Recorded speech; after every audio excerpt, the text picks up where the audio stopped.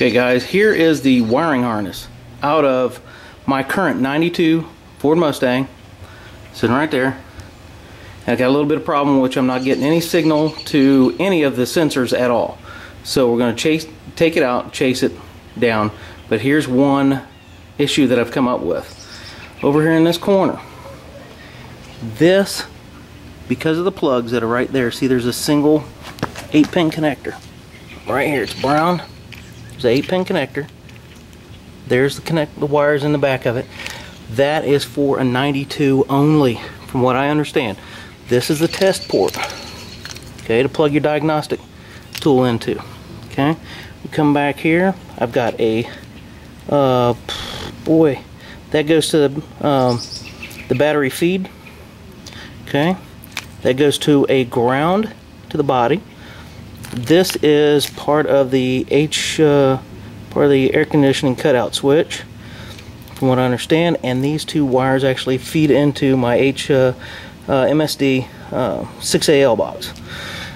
So coming back back up the harness you got your map sensor connector okay and then you've got your distributor and your um, spigot fitting. Back up back there's to the the two uh, 10 pins that go to the wiring harness for the fuel injectors that is for more uh, air conditioning components.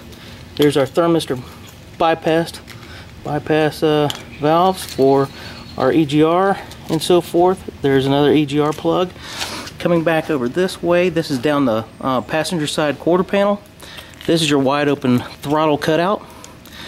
From what I understand this is an 8 pin that goes back down to the Hegos. Uh, these are two for the, um, believe that is for the airbags, uh, and that is the uh, mass sensor. Okay, back up. There's where it goes through the firewall. Plug goes to the firewall.